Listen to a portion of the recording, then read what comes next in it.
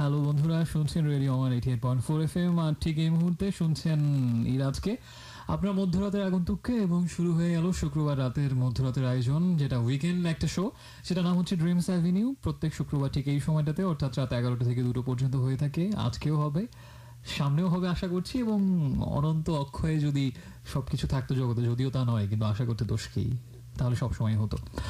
যাই হোক সবাই নিশ্চয়ই ভালো আছেন এবং এক সপ্তাহের অনেক ঘটনা হয়তো ঘটে গেছে, আবার হয়তো তেমন কোনো ঘটনা ঘটেনি, কিন্তু ঘটনা ঘটুক বা না ঘটুক আমার কাছে যেটা মনে হয় যে জীবনের সব থেকে বড় কথাই কিন্তু ঘটনা ঘটা না। অনেক ঘটনা না ঘট, ঘটলেও মনের মধ্যে অনেক কথা জমে থাকে, অনেক কথা চলে আসে, অনেক কথা প্রকাশ করতে ইচ্ছে হয়, ঘটনার সাথে সেটা একদমই সম্পর্কিত নয়।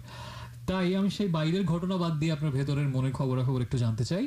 সেই নির্ঘটনাময় ঘটনাগুলো আমাকে জানান এবং অবশ্যই যদি কোনো গান টান শুনতে চান বা যদি যে কোনো কিছু ইচ্ছে হয় প্রকাশ করতে, জানাতে উইশ করতে, যে কোনো কিছুর জন্য মনে করুন আমি আপনার একজন আজ্ঞাবহ দাসমাত্র। আপনার সেবা নিয়োজিত থাকব রাত দুটো পর্যন্ত ওকে এস এম এস করে আমাকে জানাতে হবে আপনি কি চান। আজকে রাতে আমার মাধ্যমে অবশ্যই। আপনার মোবাইল ফোনের এস এম এস অপশনে প্রথমে যাবেন, গিয়ে লিখবেন রেডিও আমার শর্ট ভার্সন যেটা হচ্ছে আর এ এবং স্পেস দিয়ে আপনার নাম, ধাম, তারপরে কথাগুলো। আর পাঠাবেন যে নাম্বারে সেটা হচ্ছে six nine six nine okay তাহলে এখন আমরা যে গানটা প্লে করব, এই গানটার নাম হচ্ছে পারফেক্ট এড শিরানের গান। এবং আজকের সবগুলো গান একটা বিশেষ ধাঁচের হবে। কয়েকটা গান শুনলে বুঝতে পারবেন যে ধাঁচটা আসলে কি। এবং আমার ধারণা, যারা একটু রোমান্টিক আমার মতো কাঠখোট্টা না তারা অনেক বেশি এনজয় করবেন আজকে প্লেলিস্ট কারণ আজকে প্লেলিস্ট একটু একটা আবেশ জায়গা নিয়ে প্লেলিস্ট রাখার চেষ্টা করব। একটু রকিং গান খুব একটা থাকবে না, বা খুব একটা মনে হয় থাকবেই না। আজকে শুধুমাত্র একটা মানে আবেগ, ভালোবাসা, হৃদয় দিয়ে ছুঁয়ে যাওয়া, শিহরণ জায়গা নিয়ে এরকম কিছু গান হয়তো থাকবে আজকে প্লেলিস্টে এবং আমি জানি এটা অনেকেরই পছন্দ হবে। তো প্রথম গানটা হচ্ছে পারফেক্ট এবং আশা করছি খুব পারফেক্ট অবস্থাতে আপনি আছেন। না থাকলেও তিন ঘণ্টা আমার সাথে থেকে হয়ে যাবে enjoy the song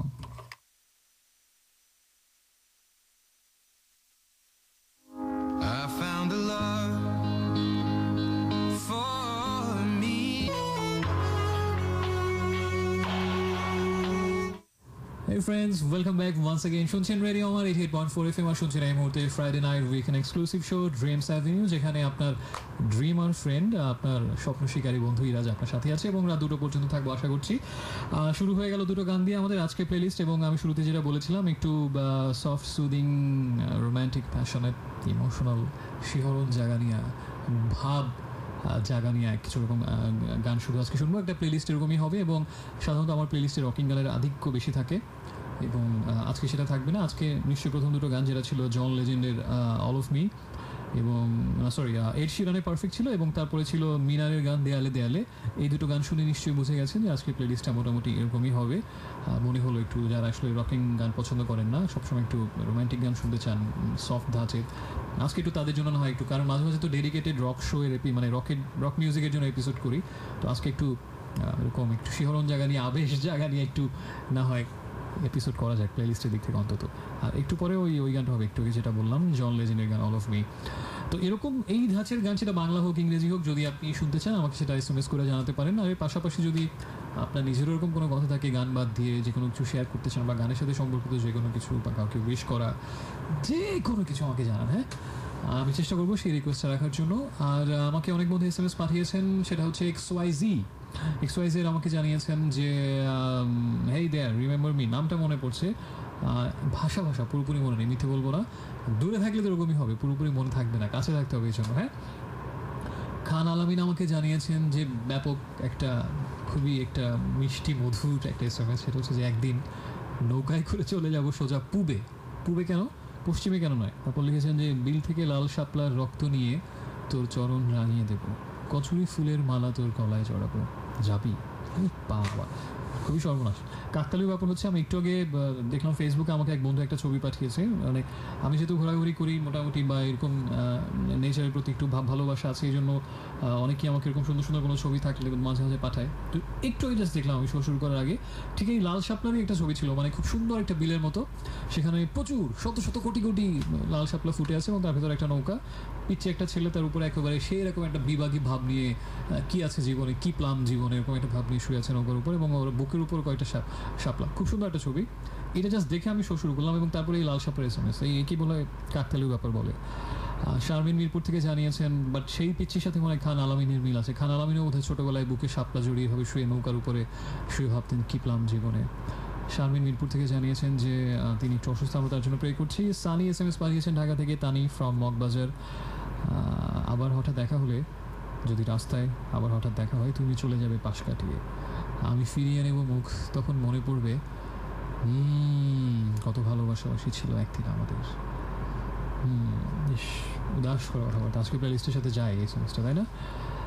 এরকম কিন্তু এই থিমের কিন্তু অনেক গানও আছে। যদি আমি দেখি, আমি চেষ্টা করব তা নিয়ে আপনার এই এস এর থিমের গান প্লে করার জন্য, যে একসময় অনেক কাছে ছিলাম, এখন আর নেই।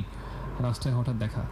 ফাহিম আজমল শেখ আমাকে জানিয়েছেন গান শুনতে চান একটা সাইফুল ক্যারিগঞ্জ থেকে আজকেও বেশ কিছু ভালো গানের রিকোয়েস্ট পাঠিয়েছেন সাইফুল। খুব ভালো একটা বন্ধু আমার। গানের রিকোয়েস্ট রাখতে না পারলেও কখনো রাগ করে না, শুধু পাঠিয়েই যায় নিরন্তর। ঠিক যেরকম মানে অনেক সময় হয় না যে খুব খুব একটা একটা ছেলে বা একটা মেয়ে প্রচণ্ড রকম কারোর জন্য অনুভূতি কাজ করছে ভেতরে এবং একটার পর একটা বার্তা সেটা চিঠির মাধ্যমে হোক বা যে মাধ্যমে বা এস মাধ্যমে হোক পাঠিয়ে যাচ্ছে রিপ্লাই আসছে না ওপাশ থেকে কোনো। কিন্তু তাতে তার কোনো কিছু যায় আসে না। উদ্যম এবং পরিশ্রমের কোনো অভাব নেই। সে পাঠিয়ে যাচ্ছে। ব্যাপক একটা উদ্দীপনা তার মধ্যে কাজ করে। তো এরকম সাইফুল আমাদের এরকমই একজন। বেশিরভাগ সময় আমি তার গান প্লে করি না, কিন্তু সে পাঠিয়ে যায় একটার পর একটা। And the most patient listeners award goes to Saiful from Keraniganj. Juton Acharya আমাকে জানিয়েছেন ফার্মের থেকে একটা গান বাট এই গানের সাথে আমার পরিচয় নেই, যেহেতু হিন্দি গান আসলে আমার শোনা হয় না, ওই জন্য ধারণা নেই। যাই হোক, এখন আমি একটা এস এম এস করে নিয়মটা বলে দিই। যদি আমাকে কিছু লিখতে চান, এই বন্ধুদের মতো কোনো গান শুনতে চেয়ে বা নিজের কোনো কথা শেয়ার করতে চেয়ে মোবাইল ফোনের এস এম এস অপশনে গিয়ে প্রথমে লিখবেন রেডিও আমাদের শর্ট ভার্সন যেটা হচ্ছে আর এ এবং আর লিখে স্পেস দিয়ে আপনার নাম ধাম লিখবেন, কথাগুলো লিখবেন, পাঠিয়ে দেবেন সিক্স নাইন সিক্স নাইন নাম্বারটাতে। আজকে এই গতকালকে একটু আমি ঘোরাঘুরি করে আসলাম, একটা জায়গা থেকে হবিগঞ্জের কয়েকটা জায়গা থেকে, সেটা নিয়ে আজকে একটু অভিযাত্রিক সেগমেন্টে হয়তো সেটা শেয়ার করব। আর কবিতা থাকবে নিশ্চয়ই, কয়েকটা দুটো পড়ব, না পড়লে তো আপনাদেরও ভালো লাগে না, আমারও কেমন কেমন যেন লাগে। আর আরও কিছু থাকতে পারে, সাথেই থাকুন। অনেকদিন ফোনে কথা হয় আজকে আজকেও হতে পারে সেটা দেখা যাক। আর এখন চলে যাচ্ছি গানে, ওই যে বললাম তো আজকে সব একটু ওরকম একটু ফিলিংস কাজ করা গান হবে। এখন শুনব আমরা অল অফ মি বা এই জন legend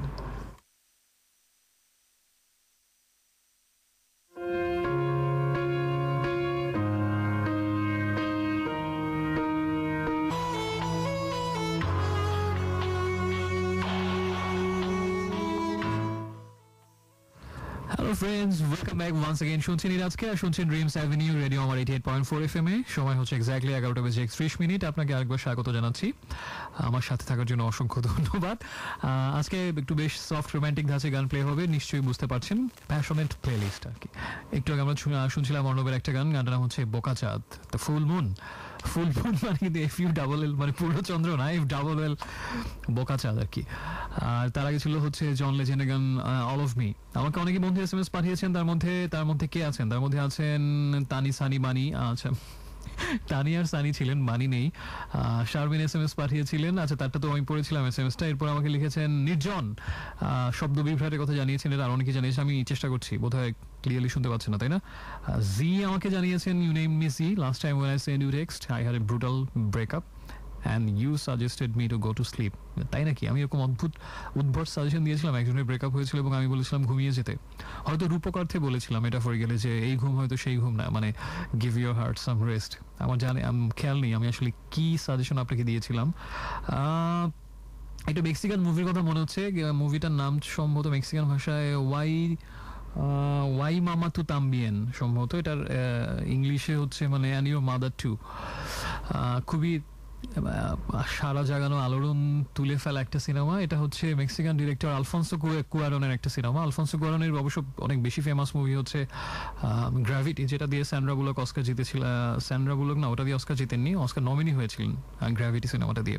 জর্জ ক্লুনি ছিলেন খুব ক্রিটিক্যালি অ্যাক্লেম একটা সিনেমা তো সেই ডিরেক্টর মেক্সিকান আলফান্সো কুয়ারন এবং যেটা ফ্যাক্ট সেটা হচ্ছে যে মেক্সিকোর তিনজন ডিরেক্টরকে এখন বলা হয় যে সব থেকে ভালো সিনেমা পরিচালকদের তিনজন এবং থ্রি মেক্সিকানস তার যারা এখন হলিউড কাঁপিয়ে বেড়াচ্ছেন। তার মধ্যে একজন হচ্ছেন one and only Alejandro Gonzalez Inarritu তাকে নতুন করিয়ে, নতুন করে পরিচয় করিয়ে দেওয়ার কিছু নেই। বার্ডম্যান তারপরে দ্য রিভেন্যান্ট এরকম অসাধারণ সব ছবি তিনি করেছেন। তারপরে ব্যাবেল অ্যাওয়ার্ড উইনিং দারুণ দারুণ বিউটিফুল অনেকগুলো ভালো ভালো সিনেমা তার আছে আহ, ইনারিতুর তিনি একজন সেই তিনজনই থ্রি মাস্কেটিয়ার্সের আরেকজন হচ্ছেন গত বছর মানে এইবার অস্কারে যিনি বেস্ট ডিরেক্টর হয়েছেন বেস্ট ফিল্ম নিয়ে সেই কি যেন সিনেমাটার নাম ছিল দ্য শেপ অফ ওয়াটার সিনেমার পরিচালকের নাম হচ্ছে গুইলার্মো দেল তোরো তিনি একজন, আরেকজন হচ্ছেন এই আলফোনসো কুয়ারন। এদেরকে বলা হয় যে মেক্সিকোকে বিশ্বের সিনেমা প্রেমীদের দরবারে নতুন উচ্চতায় নিয়ে গেছেন তারা এবং হলিউডের বা সারা বিশ্বের শ্রেষ্ঠ পরিচালকদের অন্যতম এই তিনজন বর্তমানে থ্রি মেক্সিকানস আচ্ছা আলফোনসো কুয়ারনের যেটা আমি বলছিলাম, সেই ওয়াই মামা তু তাম্বিয়েন সিনেমার ঘটনাটা হচ্ছে এরকম, পুরোটা আমি বলব না। একজন মানে মূল চরিত্র যে নারী এই সিনেমার, দুজন কিশোর এবং একজন তাদের থেকে অনেক সিনিয়র একজন নারী এবং সেই নারীর প্রতি ওই দুই কিশোরেরই একটা অসম দুর্নিবার নিষিদ্ধ আকর্ষণ। এটা এইটাকে উপযোগ্য করে উপযোগ্য করে অনেক ঘটনা এগিয়ে চলে এবং বেশ একটা খুব মানে বার্তাবহুল একটা সিনেমা মানে ভেতরে খুব ভালো কিছু মেসেজ আছে সিনেমাটা এবং ওই সময় মেক্সিকান সোসাইটি ইকোনমিক কনটেক্সট সব কিছু মিলিয়ে বেশ দারুণ একটা সিনেমা। তো ওইখানে যেটা হয় যে যে সিনিয়র লেডির কথা বলছিলাম, দুই কিশোর একসাথে যার প্রতি আকৃষ্ট হয়, তিনি একটা খুব সম্প্রতি তার একটা ব্রেকআপ হয়েছিল অনেক দিনের একটা রিলেশন ভেঙে যায় ভেস্তে যায় এবং তারপরে তিনি ভাবলেন কি আছে জীবনে, যা ইচ্ছে তাই করবে অ্যাডভেঞ্চার হ্যাঁ কোনো কিছু নিয়ে এখন আর মাথা খাব না। তখন তিনি একটা প্ল্যান করলেন রোড ট্রিপে যাবেন। ওই রোড ট্রিপে হচ্ছে ওই দুই পিচ্ছি কিশোর, যে দুজন একসাথে তার প্রতি ক্রাশ ক্রাশ খেয়েছে আর কি। ওদের দুজনকে নিয়ে তিনি একটা মেক্সিকোর সময় একটা সেই কান্ট্রি সাইডে কোন একটা নাম না জানা, শুধু নামই শুনেছেন তারা, সেই সমুদ্র সৈকতে যাওয়া হয়নি, অনেক সুন্দর নাকি? সেখানে একটা রোড ট্রিপে বের হন আর কি, এরকম একটা কাহিনী আর কি সিনেমাটা। দেখে নেবেন বেশ ইন্টারেস্টিং সিনেমা তো ওইখানে যেটা আমরা দেখেছিলাম যে ব্রেকআপের পর পর একটা রোড ট্রিপ অনেক কাজে আসতে পারে। তো এই, এটা এই আমাদের জি এর প্রসঙ্গে এটা বললাম যে একটা রোড ট্রিপ কিন্তু আমার কাছে মনে হয় ভালো। অনেক কাজ- আসতে পারে আর কি। আর রাশেদ লিখেছে নারায়ণগঞ্জ থেকে সেটা হচ্ছে যে সঞ্জীবদার একটা গান প্লে করার জন্য অবশ্যই আজকে যেরকম গানের ধাঁচ, তাতে সঞ্জীবদার একটা গান অবশ্যই থাকা উচিত এবং থাকবে বলে আমার দৃঢ় বিশ্বাস। দৃপ্ত প্রত্যয় ব্যক্ত করছি সঞ্জীবদার গান আজকে থাকবে এবং that is dedicated to Rashed. আর আমাকে জানিয়েছেন মোহাম্মদপুরের ইরা, সেটা হচ্ছে যে পুরনো যে যারা ছিলাম আমরা, সেই প্রথম থেকে রেডিও আমারে। আমি আর ফাহিম তাদের মধ্যে করছি, নাইমাও কন্টিনিউ করছে এবং এরকম আরও অনেকেই ফিরে আসবে কিনা, এটা আসলে আমি তো অন্যদেরটা জানি না, বলতে পারছি না, তবে আমারও মাঝে মাঝে ওদেরকে মিস করি এবং সেই সময়টা মনে পড়ে আমাদের সেই শুরুর সময়টা, যখন একসাথে সবাই রেডিও আমার যাত্রা শুরু করলাম দু সাত সালে, সেই ট্রেনিং রুম সেই টানা তিন মাস ধরে ট্রেনিং করা, সকাল থেকে সন্ধ্যা পর্যন্ত অনেক ফান অনেক স্মৃতি, অনেক ভালো স্মৃতি, অনেক বাজে স্মৃতি সব কিছু মিলিয়ে আমি প্রায় মনে করি এবং আমার যারা ক্লোজ ফ্রেন্ড তাদের সাথে প্রায়ই আমার সেই পুরোনো রেডিওর দিনগুলোর কথা শেয়ার করি এবং ওই ওই সময় আসলেই স্বর্ণালী। সেটা এখনও এখনও এখনও আসলে অন্য কিছু দিয়ে সেটা রিপ্লেস করা যাবে না। আমার এখনও মনে পড়ে আমার তখন যখন মনে জানালা করতাম রাতের বেলা, একদম শুরুতে তো ওই করতাম। তো আমার মানে প্রত্যেক যেটা মানে প্রত্যেক দিনে যেটা রুটিন ছিল, আমি সবসময় তো লেট লতিফ সব ব্যাপারে। তো যেটা করতাম সেটা হচ্ছে একেবারে লাস্ট মোমেন্টে আসতাম। হাতে যদি পাঁচ মিনিট সময় থাকতো, গুলশান যে এক নম্বরের যে মোড় ছিল, ওই মোড়ে তখন কিছু দুইটা, চায়ের দোকান ছিল পাশাপাশি, এখন নেই। তো ওখানে প্রথম কাজ হচ্ছে আমার ওখানে গুলশান পৌঁছে ওখানে একটু চা খাব। এবং তারপরে সুন্দর মতো অফিসে গিয়ে শো স্টার্ট করব। ওই ওই দোকানের চা ছাড়া মনের জানালা স্টার্ট হতো না। এইসব স্মৃতি আসলে এখনও মনে পড়ে এবং তখন অলমোস্ট রাস্তাঘাট ফাঁকা হয়ে আসছে যেহেতু প্রায় এগারোটা বাজে। ফাঁকা রাস্তা মানে একটু পরেই মনের জানালা শুরু হবে। একটা অন্যরকম উত্তেজনা অনুভব করছি বুকের মধ্যে, একটা ভালো লাগা। ঘর সিটি গিয়ে কখন বসবো? শান্তি শান্তি। মানে মনে পৃথিবীর সব টেনশন, সব দুর্ভাবনা সব কিছু থেকে আমি মুক্ত। একটা অন্যরকম মোহময় প্রহর আমাকে ডাকছে হাত ছেড়ে দিয়ে। আর বেশি কিছু চাই না শুধু এই প্রহরটুকু প্রত্যেক রাতে ফিরে পেলেই হয়। এরকম একটা অনুভূতি কাজ করতো ওই সময়টাতে, যখন রেগুলার শো করতাম রাতের বেলা। ওই সময়টা আসলে কখনো ভোলার না, কখনো ভোলার না আসলে। কিছু জিনিস ইরিপ্লেসেবল জীবনে। ইরার এস এম এস এ পরে হচ্ছে ট্রি আমাকে এস এম এস পাঠিয়েছেন you please play one of your favourite songs for me আচ্ছা আমি চেষ্টা করব ট্রি এল ট্রি সম্ভবত আচ্ছা মেক্সিকোর কথা আজকে ঘুরে ফিরে বারবার আসছে। যদি আমি ভুল না করি, সেটা হচ্ছে মেক্সিক মেক্সিকান জাতীয় ফুটবল দলের প্রত্যেকটা ফুটবল টিমে একটা ডাকনাম থাকে না? যেমন জার্মানির হচ্ছে ডিমানশাফট তারপরে এরকম আর্জেন্টিনার আলবি সেলেস্তে এরকম সব তারপরে এল রোহা সম্ভবত স্পেন, তারপর হচ্ছে ল ব্লু হচ্ছে ফ্রেঞ্চ টিমের নাম। এরকম থ্রি লায়ন্স হচ্ছে ইংল্যান্ডের টিমের ডাকনা, এরকম সবার একটা নিক নেম থাকে। সম্ভবত মেক্সিকান ফুটবল টিমের ডাকনাম হচ্ছে এল ট্রি তো সেই ট্রি আমাকে এস এম এস পাঠিয়েছেন আমার একটা ফেভারিট গান তার জন্য ওকে চেষ্টা করব, আমি জানি না আমার ফেভারিট আপনার ফেভারিট হবে কিনা। আর আপাতত এস এম এস পড়ছি না এবং চলে যাচ্ছি পরের গানটাতে, তার আগে একটু এস এম এস করার নিয়মটা মনে করিয়ে দিই। প্রথমে আপনার মোবাইল ফোনের এস এম এস অপশনে গিয়ে আরে লিখবেন, আর এটা হচ্ছে রেডিও আমাদের শর্ট ভার্সন এবং স্পেস দিয়ে আপনার নাম ধাম লিখবেন, আর কথাগুলো লিখে পাঠিয়ে দেবেন ছয় নয় ছয় নয় নাম্বারটাতে। তো এখন আমরা যে গানটা শুনব, সেই গানের নাম হচ্ছে, হাজার বছর ধরে আমি পথ হাঁটিতেছি পৃথিবীর পথে। এটা তো কবিতা গান না। এরকমই একটা নাম থাউজেন্ড ইয়ার্স ক্রিস্টিনা পেরির সাথে থাকুন।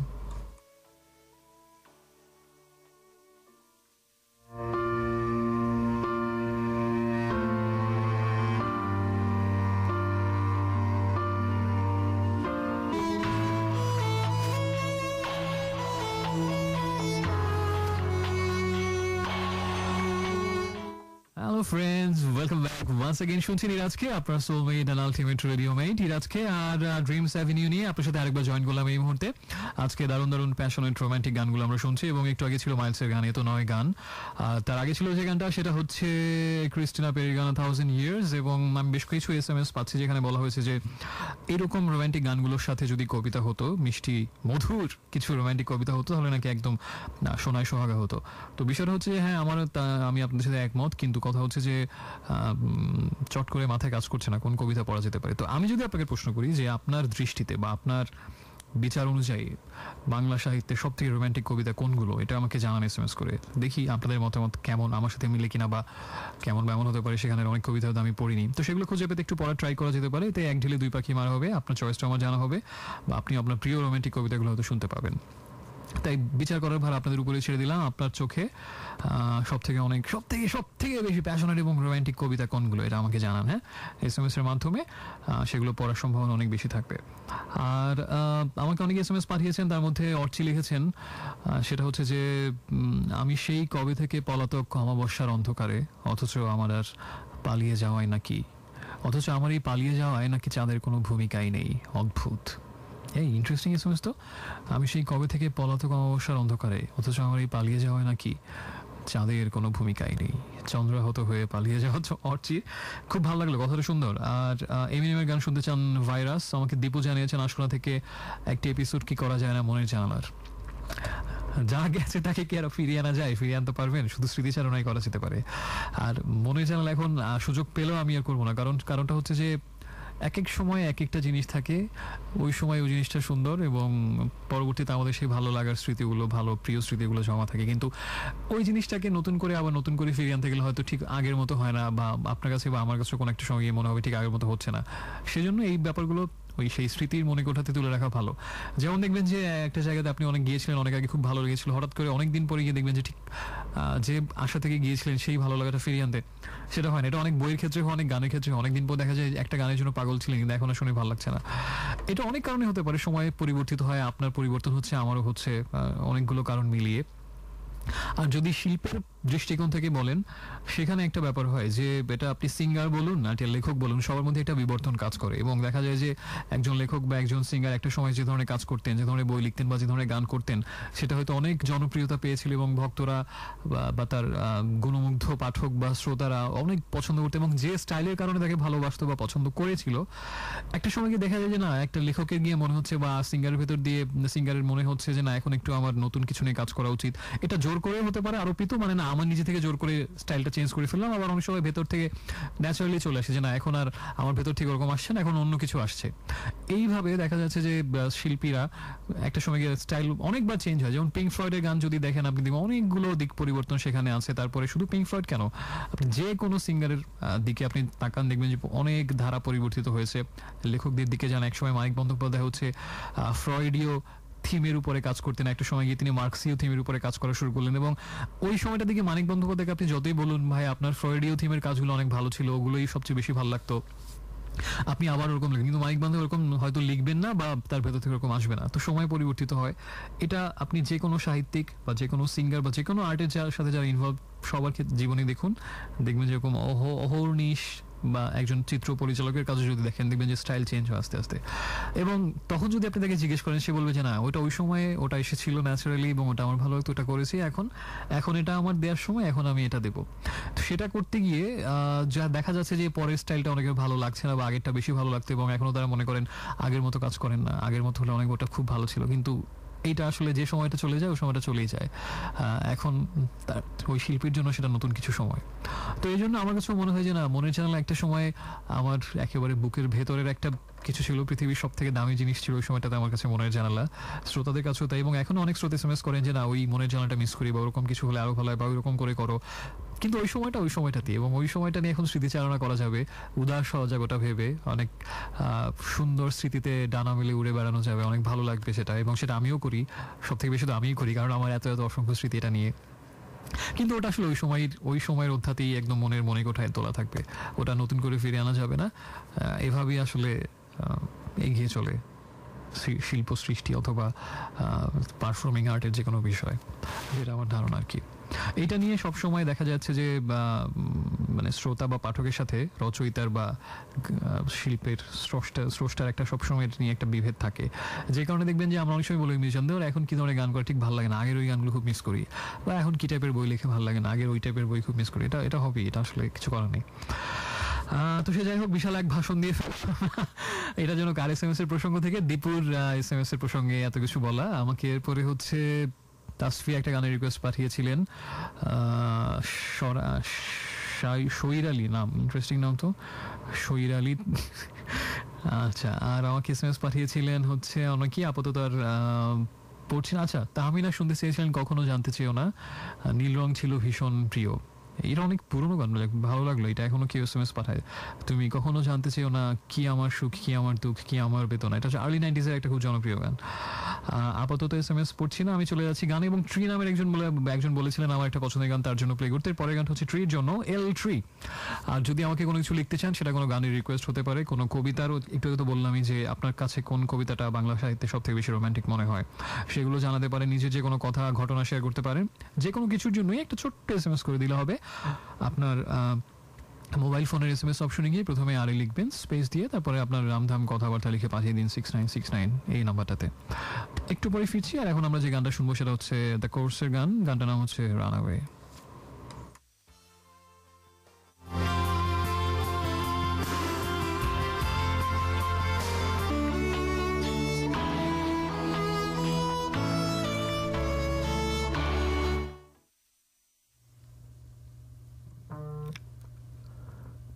তোমাকে আমার মুখে আমি সারাক্ষণ চেপে ধরে রাখব। একটি কথাও বলব না। যাও পাখি। এই দুটি শব্দ শুধু নাকে নাক ঘষে, মুখে মুখ ঘষে কপালের দিকে উড়ে যাবে। ভালোবাসা, পড়েছিস পাগলের হাতে। ভাঁজ করে সারা রাত বা হাতে কবজিতে বেঁধে রাখি। পাখি যাক, তুমি কোথা যাবে?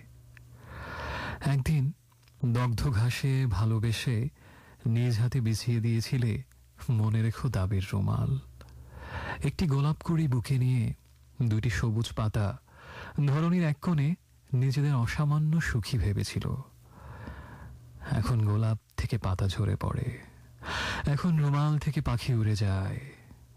আর আমি সারাদিন তুমিও রুমালটাকে মেলাতে ভালোবেসে চোখ মুছি। মনে রেখো শব্দ দুটি দিয়ে। Yes friends welcome back once again একটু বিরহের কবিতা দিয়ে ওয়েলকাম করলাম এইবার। শুনছেন ইরাজকে, আর শুনছেন ড্রিমস অ্যাভিনিউ শুক্রবার রাতের আয়োজন এবং আপনি শুনছেন এই মুহূর্তে radio Amar eighty eight point four F এটা হচ্ছে নির্মলেন্দু গুণের একটা কবিতা, মনে রেখো বেশ ট্র্যাজিক তাই না?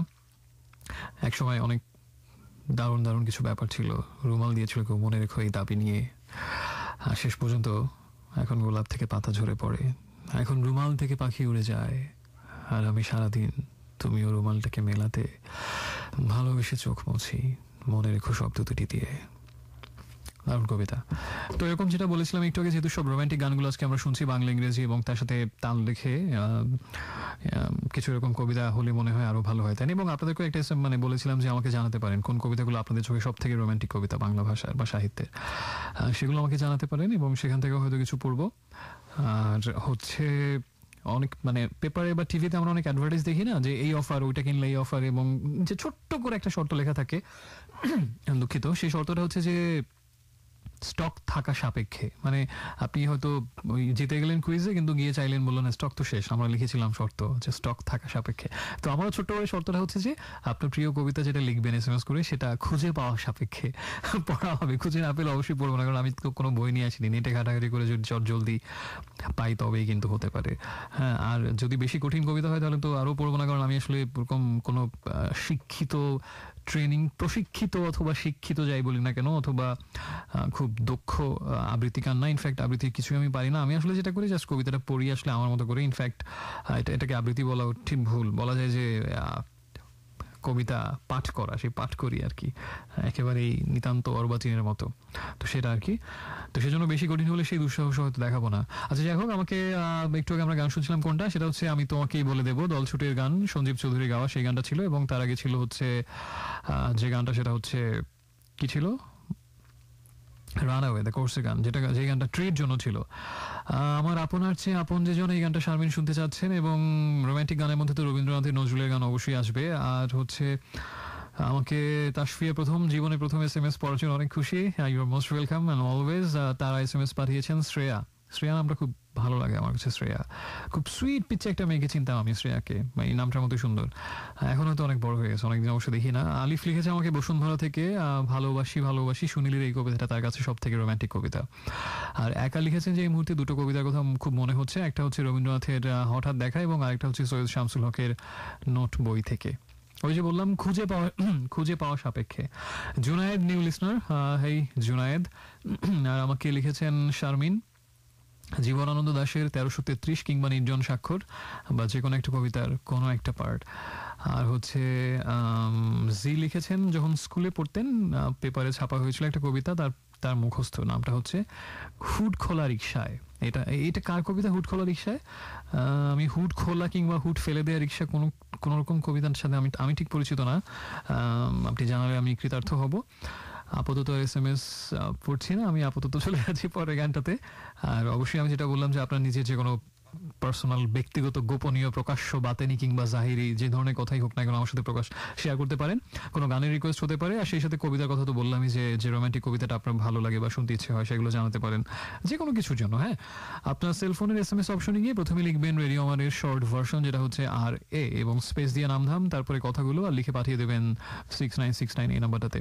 কিছুক্ষণ পরেই হয়তো অভিযাত্রিক সেগমেন্টে গতকালকে আমি যে ঘোরাঘুরিটা করে আসলাম একটা সারাদিনের ট্রিপ ছিল সেটার গল্প বলব। আহ, আরও হয়তো কিছু হবে, আজকে কিছু ফোন কনভারসেশন থাকতে পারে। সব কিছুর জন্য আমার সাথেই থাকুন, আমাকে ধন্য করুন। শুনব এখন যে গানটা, এই গানটা হচ্ছে উইস্কি লালাপাই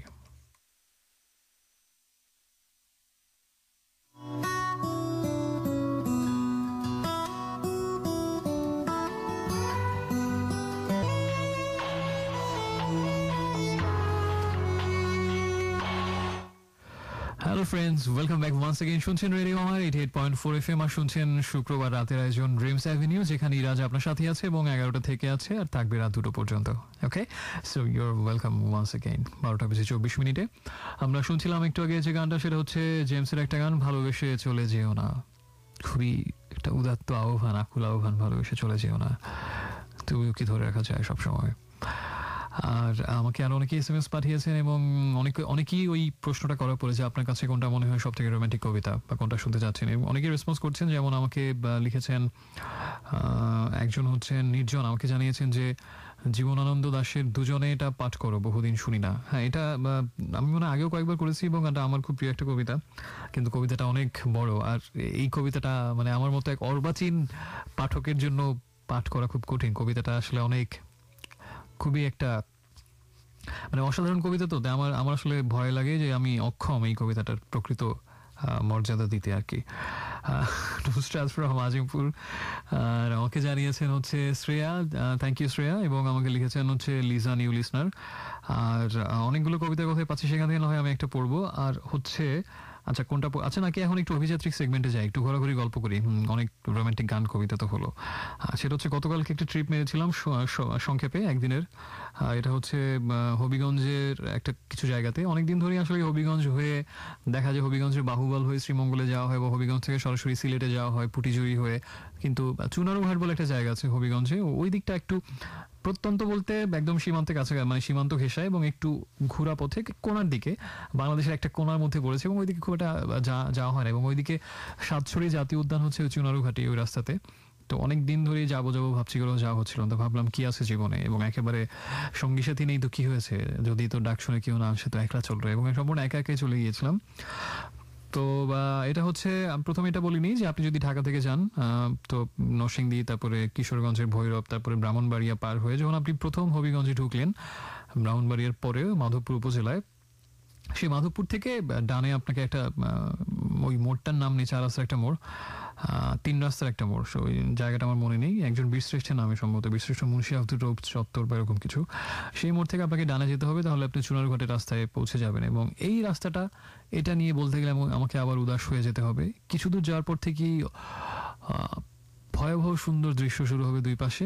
এবং এত সুন্দর এটা রাস্তা এবং তখন আমি মিলিয়ে দেখলাম আমার স্মৃতির সাথে যে আমার জীবনে প্রথম চা বাগান দেখা হচ্ছে দুই হাজার এক সালে। তেলিয়াপাড়া, হবিগঞ্জের এই জায়গাটাতে এবং আমি মুগ্ধ হয়ে গিয়েছিলাম জীবনে প্রথমবার চা দেখা, চা চা বাগান দেখা, সমুদ্র দেখা, পাহাড় দেখা, প্রথমবার এগুলোর অনুভূতি অন্যরকম। তো তখন আমার এটা মনে আছে যে বাস থেমেছিল এবং একটা জায়গাতে ওখানে আমি রাস্তার পাশে যেটা একটা মাইল পোস্টে লেখা দিয়েছিলাম তেলিয়াপাড়া। কিন্তু এরপর থেকে বইয়েও পড়েছি তেলিয়াপাড়া। সৈয়দ মঞ্জুর ইসলাম এর একটা ছোট গল্পেও তেলিয়াপাড়া জায়গাটার কথা আছে। কিন্তু এতবার সিলেটে প্রায় বিশ বারের উপরে আসা যাওয়া করলাম ওইদিকে মৌলভীবাজার সিলেটে। কিন্তু তেলিয়াপাড়া আমার আর চোখে পড়ল না। তা আমি শুধু বারবার ভাবতাম, এটা কোথায় হারিয়ে গেল তেলিয়াপাড়া আমার জীবন থেকে? অবশেষে সেই গতকালকে ওই রাস্তা দেখলাম যে তেলিয়াপাড়াটা হচ্ছে আসলে এই রাস্তাতে পড়ে। তো এটা হচ্ছে চুনারুঘাটেই পড়েছে তেলিয়াপাড়াটা। মাধবপুর শেষ হওয়ার পরে চুনারুঘাট শুরু হবে এবং শুরুতে তেলিয়াপাড়া। এবং এখান তেলিয়াপাড়া যেখান থেকে শুরু, সেখান থেকেই হচ্ছে চা বাগান শুরু রাস্তার দুপাশে। বেশ কিছু চা বাগান আছে ওখানে। একটা হচ্ছে তেলিয়াপাড়া টি এস্টেট, তারপরে হচ্ছে সুরমা চা বাগান যেটা অনেক বড়। তারপরে চণ্ডীছড়া চা বাগান, চাঁদপুর চা বাগান, এরকম অনেক, অনেকগুলো চাকলা সামথিং যেরকম অনেকগুলো চা বাগান ওখানে, অনেকগুলো, একেবারে এক- একটার পর একটা লাইন দিয়ে এবং দুই পাশে চা বাগান, মাঝখানে খুব সুন্দর সাপের মতো আঁকা বাঁকা রাস্তা এবং খুব বেশি গাড়ি ঘোড়া ওই রাস্তাতে নেই, মানুষজনও খুব একটা নেই, নিরিবিলি, আপনি যখন ইচ্ছা তখন যেখানে খুশি সেখানে গাড়ি থামিয়ে নেমে প্রাকৃতিক শোভা উপভোগ করতে পারবেন। অদ্ভুত সুন্দর একটা রাস্তা, এটা আমার, আমি গত সপ্তাহেই মনে হয় আমার এপিসোডে বলেছিলাম যে মানুষের কোন রাস্তাগুলোতে অবশ্যই যা ট্রাভেল করা উচিত বা যারা গাড়ি চালাতে পছন্দ করে তাদের কোন রাস্তাগুলোতে গাড়ি চালানো উচিত। ড্রাইভার্স ডিলাইট তার মধ্যে অনেকগুলো রাস্তার কথা বলেছিলাম গত সপ্তাহে, এটাও অ্যাড হবে। এটা খুবই সুন্দর একটা রাস্তা। অদ্ভুত সুন্দর। দুপাশে একদম ছোট ছোট টিলা, চা বাগান ছড়ি, রাস্তার পাশে দিয়ে বয়ে চলে গেছে কাশফুল। যেহেতু শরৎকাল আসি আসি আসি আসি কি, এসেই তো গেল বোধ তো সবকিছু মিলিয়ে দারুণ একটা রোড এবং অনেকখানি এমন না যে একটু জাস্ট খুব ভালো লাগছে দুই পাশে, এরপর হঠাৎ করে শেষ হয়ে গেল, এরকম না। চা বাগান আর শেষ হবে না। এবং আমি যেটা সবসময় করি, যে আমার কোনো ফিক্সড গন্তব্য হিসাবে সবসময় থাকে না বা থাকলেও চেষ্টা করি যে না, হঠাৎ করে অন্য একটা সাইড রাস্তা ভালো লাগলে ওটাও একটু এক্সপ্লোর করে আসি। তো এরকম যেতে যেতে অনেকগুলো রাস্তা ডানে বামে পড়বে, যেগুলো চা বাগানের ভেতরে ঢুকে গেছে। তো আমি প্রত্যেকটাতেই মনে হলো, না, ঢুকে দেখি কি আছে। ওইদিকে হয়তো কোনো মানিক রতনের সন্ধান পেয়ে যাব, অদ্ভুত সুন্দর কোনো রাস্তা তো সেরকম অনেকগুলো জায়গাতেই করেছি এবং নিরাশ হইনি। চা বাগানের ভেতর দিয়ে মোটামুটি একা একা একটা ঘোরার অন্যরকম একটা বহেমিয়ান আনন্দ আছে। তো এভাবে দুই পাশের অনিন্দ সুন্দর প্রাকৃতিক শোভা দেখতে দেখতে মানে ওই রাস্তাতে থাকলে মনে হয় যে না, যে উদ্দেশ্যে যাত্রা করেছিলাম, যে গন্তব্যের জন্য, সেখানে না গেলেও হবে। এরকম সুন্দর রাস্তা যদি থাকে, এখানেই এই রাস্তার শোভা দেখিয়ে দিনটা কাটিয়ে দেওয়া যাবে, যেটা আমার মনে হয়েছিল আর কি। তো এভাবে দেখতে দেখতে অবশেষে সেই সাতছড়ি জাতীয় উদ্যানে ওখানে পৌঁছে গেলাম। রাস্তার দুই পাশেই বন, কিন্তু হাতের ডান পাশে মূলত মূল বনটা। এবং সেই সাতছড়ি জাতীয় উদ্যানে প্রবেশ করলাম। ওখানে ট্রেইল আছে কয়েকটা, একটা হচ্ছে এক ঘণ্টা ট্রেইল মানে আপনি যদি বনের ভেতরে পরিভ্রমণ করতে চান, আবার লম্বা সারাদিনের ট্রেইলও আছে, তিন ঘণ্টা, চার ঘণ্টা ট্রেইল আছে। তো আমাকে টিকিট কাউন্টার থেকে সাবধান করে দেওয়া হয়েছিল যে আপনি যদি গাইড না নিয়ে যান, তাহলে পথ হারিয়ে যাবেন এবং ফিরতে খুব সমস্যা হবে। তো আমি তো মনে মনে বলছিলাম যে, ওটাই তো আমি চাই। কারণ আমার উদ্দেশ্য তো হারিয়ে যাওয়া। তারপর আবার পথ খুঁজবো, পাচ্ছি না। একটা সময় গিয়ে সত্যি সত্যি সেই মানে অ্যাডভেঞ্চারের মজাটা থাকবে না। তখন সত্যি সত্যি একটা মানে ভয়ে কাজ করবে যে, কীভাবে বের হবে এখান থেকে, কাউকে পাচ্ছি না। ওই ওই ওই ওই থ্রিলটা আমি যাচ্ছিলাম, তাই গাইড নিয়ে কোনো প্রশ্নই আসে না একা একা প্রবেশ করলাম এবং ইন্টারেস্টিং ব্যাপার হচ্ছে, শোনাতে একটু অবাক মনে হতে পারে, পুরো বনে আমি একা ছিলাম। কালকে যেহেতু ওয়ার্কিং ডে ছিল, অন্য কোনো ট্যুরিস্ট বা কারও কোনো টিকিটির দেখা পর্যন্ত নেই। তার উপরে এখানে এমনিতেও মানুষ কম যায়। ওই যে বললাম না, একটু ঘোরা পথে এবং একটু পেছন দিকে বাংলাদেশের একদম সীমান্তে পড়ে গেছে তো মেইন রাস্তার দিকে না যেহেতু। খুব বেশি মানুষজন এমনিতেও যায় না। আর তার উপরে কালকে ছুটির দিন না, সেই কারণে আমি ছাড়া পুরো সাতচুরি বনে কেউই ছিল না। আমি একমাত্র ট্রাভেলার বা ট্যুরিস্ট যাই বলুন। খুবই সুন্দর এই এই অনুভূতিটা বলে বোঝানো যাবে না। আসলে পুরো বনের পাখির ডাক আরও অনেক নাম না জানা প্রাকৃতিক শব্দ, এবং খুব সুন্দর গা ছমছম নির্জন, দারুণ একটা বন হ্যাঁ? এবং সেই বনের ভিতরে অনেক টিলার মতো আছে, লতা পাতা, কাটা ঝোপ সরিয়ে একদম সত্যিকারে বনে পরিভ্রমণের একটা স্বাদ পাবেন এবং ওখানে একটা বাটারফ্লাই গার্ডেন আছে, সেখানে হচ্ছে ফুলের গাছ টাছ লাগানো এবং ওখানে মানুষ ঢুকতে পারে না বাটারফুল মানে প্রজাপতি এসে যাতে বসতে পারে। ওটা খুব সুন্দর। চারতলা উঁচু একটা ওয়াচ টাওয়ার আছে, যেখানে উঠলে বনের অনেকখানি একসাথে দেখা যায়। তো সেটা পরে হচ্ছে যে মূল ট্রেইল শুরু, হাঁটা শুরু হলো বনের মধ্যে। তো আমি প্রথমে ভাবলাম এক ঘণ্টা ট্রেলি করি হ্যাঁ গরম মানে দুপুরবেলা হয়ে যাচ্ছে। তো এক ঘণ্টা ট্রেলি ঢুকে যে কোন সময় কোন রাস্তা থেকে পথ হারিয়ে কোন রাস্তা থেকে যে কোন রাস্তায় চলে গেলাম তারপরে কিছু দূর যাওয়ার পরে ভাবে একটা আসল যে সৌন্দর্যটা আমার কাছে মনে হচ্ছে, এই বনে যেটা অন্য বনের সাথে পার্থক্য সাতছড়ি নামটা এসেছে সাতটা ছড়ি থেকে।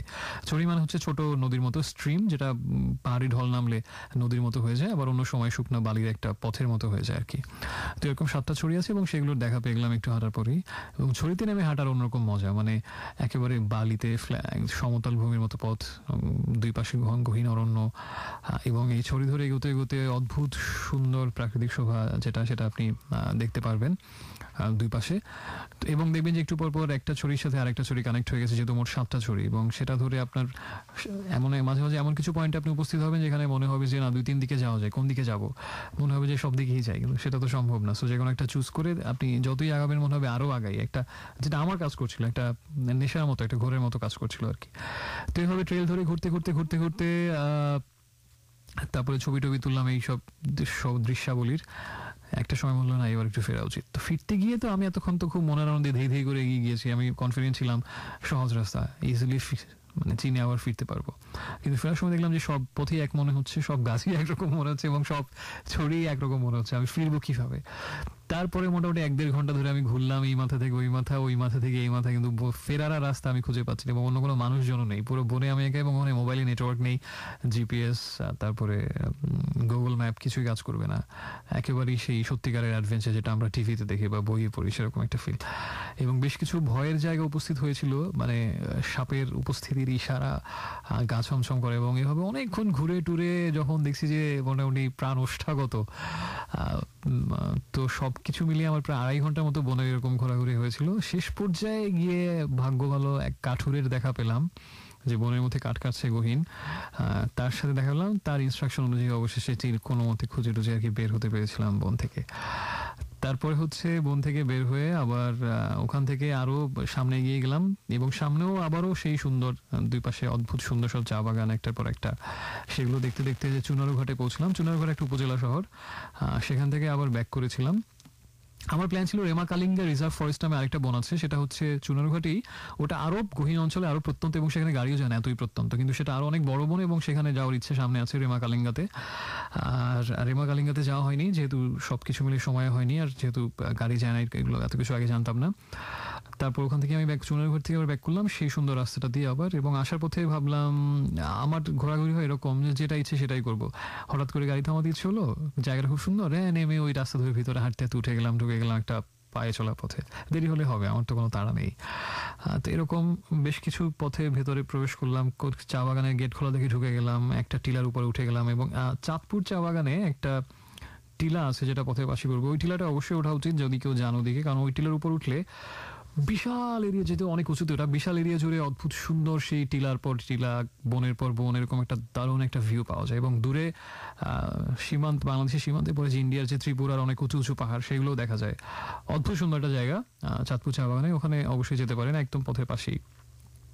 তো এরকম ঘুরে টুরে অবশেষে আবার ফিরে এলাম। সেই চুনারঘর থেকে মাধবপুর হয়ে আবার ঢাকার পথে ডেলং একটা ঘোরাঘুরির আর কি সংক্ষিপ্ত বর্ণনা দিলাম। এখন আমরা আবার গানে চলে যাচ্ছি। আমাদের যেটা মূল কাজ ছিল সেই দারুণ দারুণ গান প্লে করা, তার ফাঁকে ফাঁকে কবিতা, সেগুলো হবে। আর যদি আপনি আমাকে কিছু লিখতে চান, আপনার মোবাইল ফোনের মেসেজ অপশনে গিয়ে প্রথমে আরে লিখবেন। আরে লিখে স্পেস দিয়ে আপনার নাম, ধাম এবং কথাবার্তাগুলো লিখে পাঠিয়ে দেবেন। সিক্স নাইন সিক্স নাইন এই নাম্বারটাতে এখন আমরা যে গানটা শুনব, সেটা হচ্ছে সোফা ওয়ে মার্টিন গ্যারিক্স এবং ডেভিড গেটার একটা কম্পোজিশন শান্তি থাকুন, ফিরছি। Don't go so far away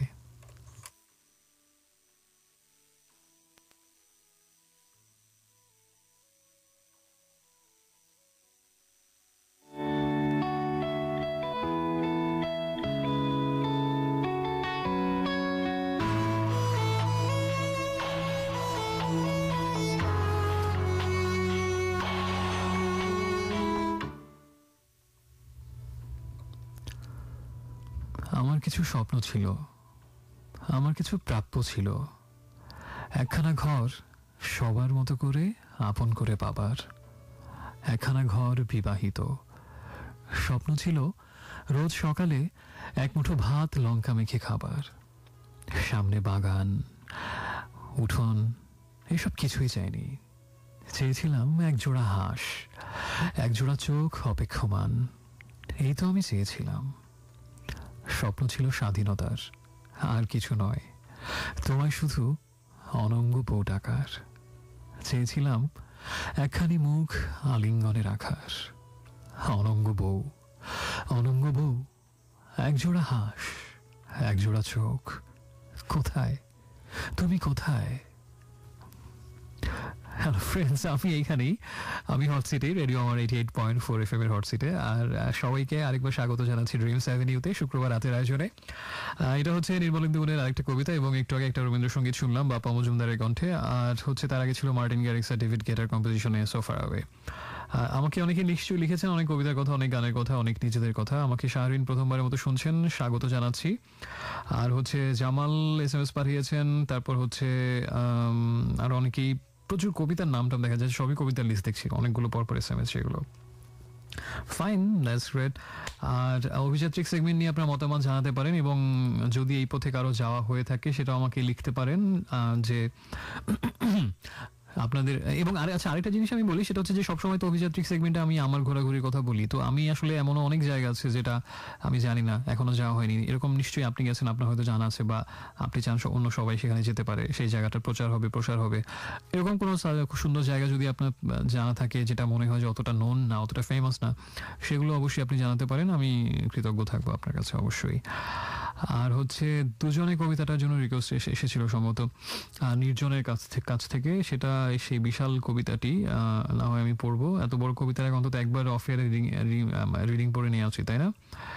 আচ্ছা না হয় রিডিং ছাড়া একটু ঝুঁকি নেই। এমনি তো এমনি তো ভালো হবে না। সো কি আর এমন পার্থক্য হবে? তার আগে কি আমরা আরেকটা কবিতা পড়ব? নির্মলেন্দু গুণের যেটা নাম হচ্ছে ভয়। পড়া যেতে পারে। কি আছে জীবনে? ভয়কে করো জয়, তাই ভয় নামক কবিতাটা পড়ে ফেলো। মাংসে চাকুর মতো যন্ত্রণায় গেথে আছো তুমি। যেভাবে গোপনে চাঁদ অন্ধকারে থাকে গাথা আকাশের গায়ে। কখনো রক্ত ঝরে, কখনো ক্ষতের চিহ্নে বক্ষের পাঁজর বেয়ে ঝরে পড়ে পুঁজ। ভন ভন শব্দে ওড়ে মাছি তোমার স্মৃতি স্পর্শ বুকে নিয়ে জেগে থাকি রোজ। আজও জেগে আছি। গলিত মাংসের মধ্যে আমের পোকার মতো তুমি বসে কুরে কুরে খাও। তবু থাক, মুক্ত প্রেম। আমার বুকের মধ্যে আমূল প্রথিত চাকু আমি কোনোদিন খুলব না। যদি তুমি খরণের রক্তে ভেসে যাও। সাধু সাধু, সেরকম লাইন আমার বুকের মধ্যে আমূল প্রথিত চাকু আমি কোনোদিন খুলব না। যদি তুমি খরণের রক্তে ভেসে যাও। আচ্ছা ওই কবিতাটা কার যেন? ঠিক এক্সাক্ট আমার মনে পড়ছে না। অসাধারণ একটা কবিতা, ওই যে বন্ধু, তুমি কেঁদো না, আমারও কান্না আসে। কাঁদি না তোমারই জন্যে, তুমি ভেসে যাও পাছে। কার কবিতাটা? এই কবিতাটা একটা দুর্ধর্ষ কবিতা, এটার নামটা আমাকে জানান তো প্লিজ চটপট চটপট, আমি এটা পড়ার চেষ্টা করব। বন্ধু, তুমি কেঁদো না, আমারও কান্না আসে। বা আমারও কান্না আছে, কাঁদি না তোমার এই জন্যে? তুমি ভেসে যাওয়া পাচ্ছে এটা কি ওই কবিতাটা ওই যে চলে যাওয়া মানে প্রস্থান নয়। হ্যাঁ এটাই। চলে যাওয়া মানে প্রস্থান নয় নয় বন্ধন ছিন্ন করা আর্থ রজনী চলে গেলে আমারও অধিক কিছু থেকে যাবে, তোমার না থাকা জুড়ে বন্ধু, তুমি কেঁদো না, আমারও কান্না আছে। কাঁদি না তোমারই জন্যে তুমি ভেসে যাওয়া পাচ্ছে এরকমই বোধহয় লাইনগুলো যদি একটু একটু একটু একটু এদিক সেদিক হতে পারে। যাই হোক আমাকে একটু নামটা এবং কবির নামটা জানান তো। হেলাল হাফিজ কি? হ্যাঁ, অথবা হাসান হাফিজ নট শিওর আচ্ছা সে যাই হোক তো আরেকটা কবিতা পড়ে তারপর কি এস এম এস এর রাজ্যে চলে যাই। আর এস এম এস করে নিয়মটা একটু মনে করে দিই। সেটা হচ্ছে যদি আমাকে কিছু লিখতে চান গানের কথা কবিতার কথা নিজের কথা বা যে কোনো কিছু সেটা হচ্ছে প্রথমে আপনার মোবাইল ফোনের এস এম এস অপশন নিয়ে লিখতে হবে যেটা সেটা হচ্ছে রেডিও আমারের শর্ট ভার্সন বা সংক্ষেপে সেটা হচ্ছে আর এ এবং স্পেস দিয়ে আপনার নাম ধাম লিখবেন, তারপরে কথাগুলো লিখে পাঠিয়ে দেবেন সিক্স নাইন সিক্স নাইন এই নাম্বারটাতে। দুজন কবিতাটা বলার, পড়ার আগে একটা জীবনানন্দের এই কবিতাটা পড়ার আগে একটা কথা বলিনি সেটা হচ্ছে যে মাঝে মাঝে কিছু মুহূর্ত সবারই আসে, যে মুহূর্তটাতে মনে হয় যে পাশে একজন থাকলে ভালো হতো।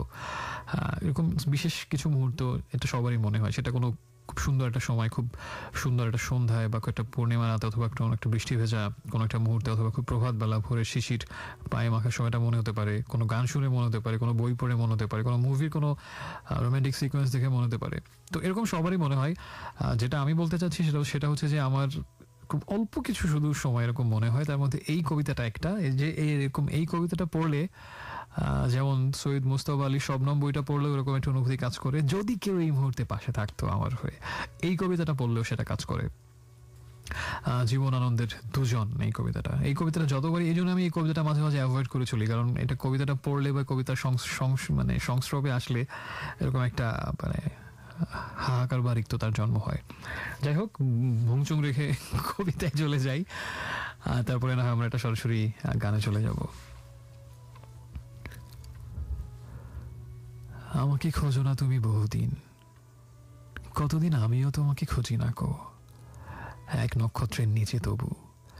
একই আলো পৃথিবীর পারে, আমরা দুজনে আছি। পৃথিবীর পুরনো পথের রেখা হয়ে যায় ক্ষয়। প্রেম ধীরে মুছে যায়। নক্ষত্রেরও একদিন ঝরে যেতে হয়। হয় নাকি বলে সে তাকালো তার সঙ্গিনীর দিকে।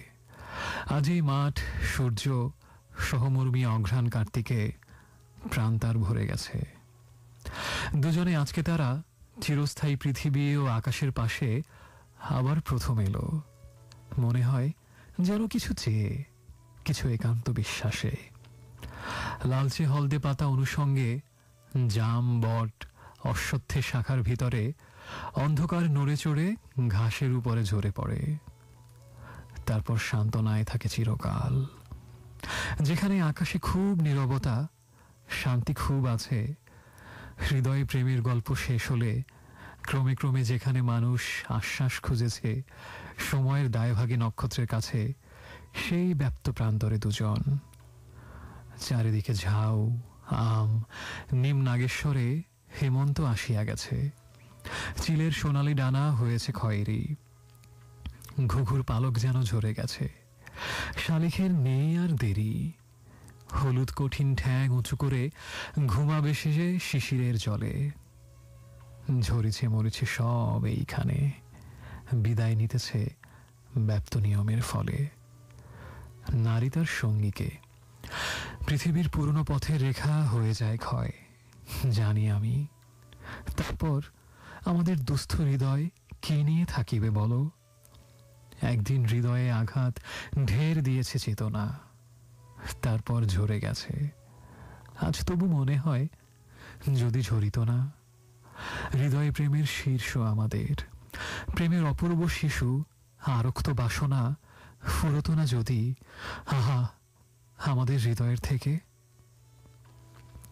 এই বলে মৃয়মান আঁচলের সর্বস্বতা দিয়ে মুখ ঢেকে উদ্বেল কাশের বনে দাঁড়িয়ে রইল হাঁটু ভর হলুদ রঙের শাড়ি, চোর কাটা বেঁধে আছে।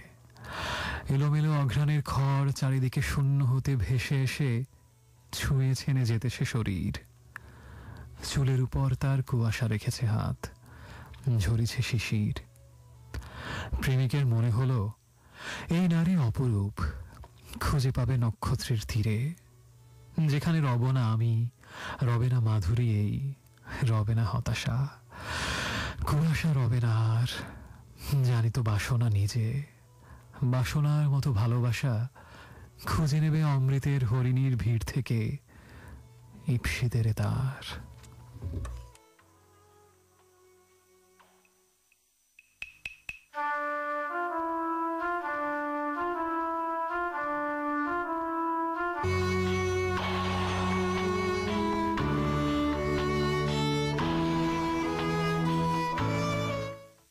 Hey friends, welcome back. Once again শুনছেন radio Amar eighty eight point four F M আর শুনছেন যে অধম বান্দাকে তার নাম হচ্ছে ইরাজ এবং যে শোটা শুনছেন তার নাম হচ্ছে dreams avenue Friday night weekend exclusive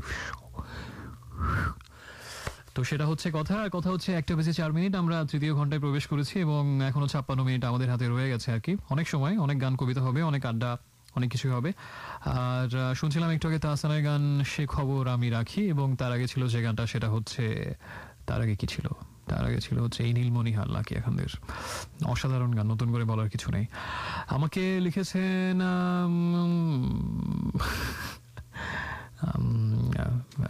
Nusrat. সেটা হচ্ছে যে খুবই একটা খুবই একটা চমৎকার একটা আবদার, মনটা, প্রাণটা জুড়িয়ে গেল আর কি। লিখেছেন আমার তোমাকে জ্বালাই। কীভাবে জ্বালাবেন এটা একটু আমার জানতে ইচ্ছে হচ্ছে, তবে আমাকে জ্বালানো একটু কঠিন। মানে এই ব্যাপারে মোটামুটি আমার মানে আমি যখন বুঝে যাই যে কেউ ইন্টেনশনালি আমাকে জ্বালাতে যাচ্ছে, তখন আমার ধৈর্য শক্তি অসীম হয়ে যায় মোটামুটি। আমি জানি না আপনি কামিয়াব হতে পারবেন কিনা, তবে আমি হাসলাম অন্য কারণে। তোমাকে জ্বালাই, এর সাথে একটা প্লেয়ারের নামের মিল আছে অ্যাডাম সালাই হাঙ্গেরির একজন ফুটবলার হাঙ্গেরির মেইন স্ট্রাইকার অ্যাডাম সালাই তো সেই অ্যাডাম সালাই আর তোমাকে জ্বালাই, এর মধ্যে একটা ভাবে অদ্ভুত, ছন্দগত মিল আছে আর কি। বুন্দেস লিগা খেলে থাকেন অ্যাডাম- সালাই আমাকে আরও অনেক এস এম এস পাঠিয়েছেন জেসি জেনি জানিয়েছেন যে অমীমাংসিত এই বিপুল জনম তোমাকে দিয়ে যাই তার ক্লেদ আর মায়াটুকু তুমি আলাদা করে আলাদা আলাদা রেখো। খুব সুন্দর এস এম এস খুব সুন্দর এটা আরেকবার পড়তে হবে, যাতে সবাই ইন্সপায়ার্ড এরকম সুন্দর সুন্দর এস এম এস পাঠাতে। এবং দারুণ, কাব্যময় শোয়ের মধ্যে এরকম চমৎকার কাব্যময় কথা। অমীমাংসিত এই বিপুল জনম তোমাকে দিয়ে যাই। তার ক্লেদ আর মায়াটুকু তুমি আলাদা আলাদা রেখো। খুবই ইন্টারেস্টিং এবং খুবই তাৎপর্যপূর্ণ যুগ উপযোগী সময় সময় উপযোগী কথা। আর আমাকে অনেকগুলো গানের রিকোয়েস্ট পাঠিয়েছিলেন একা বর্ণে গন্ধে ছন্দে গীতিতে হৃদয়ে দিয়েছ দোলা, আর হচ্ছে পাশের চায়ের দোকান কি খোলা? অবাক ভালোবাসা বাই ওয়ারফেইস বেদনা হচ্ছে নেমেসিসের গান না গান, প্রতিবাদ বাই ক্রিপ্টিক ফেইট প্রতিবাদ গানটা ঠিক রোমান্টিক গান না। টিয়ার্স ইন হেভেনও রোমান্টিক না, এটা হচ্ছে ওই যে তার ছয় বছরের ছোট্ট সন্তান জানাল দিয়ে পড়ে মারা গিয়েছিল এরিক ক্ল্যাপটনের, তাকে নিয়ে গানটা। কিন্তু আজকে আমরা যে ধাঁচের গান ঠিক শুনছি এই জনরাতে পড়ে না। আর হচ্ছে আরও অনেকে লিখেছেন, আপাতত এস এম এস পড়ছি না, আমি শুধু সবাইকে একটা জিনিস বলি, যদি আপনি কোনো গান শুনতে চান, কাউকে ডেডিকেট করতে চান, কাউকে উইশ করতে চান, নিজের যে কোনো প্রিয় কবিতার কথা বলতে চান যেটা আমার মতো এক ব্যর্থতম আবৃত্তিকারীর কণ্ঠে যদি শুনতে চান সেটা এস এম এস করে জানাতে পারেন। আপনার মোবাইল ফোনের মেসেজ অপশনে গিয়ে প্রথমে রেডিও আমাদের সংক্ষিপ্ত রূপ, যেটা হচ্ছে আরে, সেটা লিখবেন, তারপর স্পেস দিয়ে কথাগুলো এবং নাম ধাম লিখে পাঠিয়ে দিন। ছয় নয় ছয় নয় নাম্বারটাতে। তো এখন আরেকটা কবিতা পড়ে না হয় আমরা একটু গানের জগতে আবার চলে যাই? এটা হচ্ছে নির্মলেন্দু গুণের একটা কবিতা, তোমার আমার গল্প। আমার কর্তব্য শেষ, এবার তোমার পালা। বলো, কি করে সাজাবে এই আটচালা ভাঙা কোঠাগুলো? শয্যার পাশেই যদি একখানি চুলো থাকে, তো থাকুক।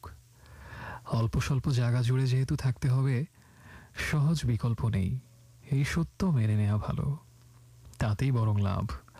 সংসারের প্রয়োজনীয় আলো আমরা সহজে পাবো সরাসরি সূর্যরশ্মি থেকে। এতদিন কাব্য লিখে প্ররোচিত করেছি তোমাকে সংসারের দিকে।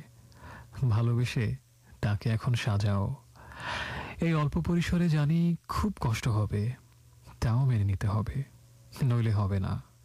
রোদ বৃষ্টি, ঝড়ে, যেভাবে বাবুই বাঁধে, শূন্যে তার শিল্পকুঞ্জখানি, আমাদের আধোঘর সেরকম করে বাঁধো, রানী। আমরা তো পাখি নই। জানি আমাদের দুজনের ভার সইবে না কোনো মাটি, কোনো বৃক্ষ, কোনো অন্ধকার। তোমার রচিত কুঞ্জ তবু রাজপ্রাসাদ আমার।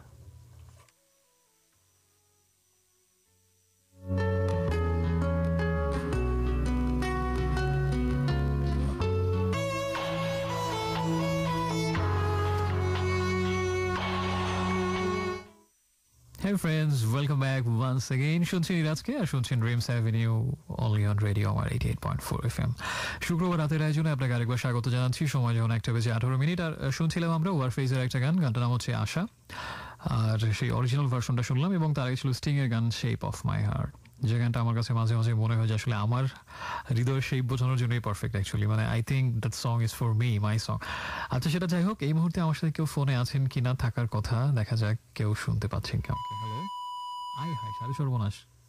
সাথেই তো ছিল কোথায় এলো? হ্যালো হ্যালো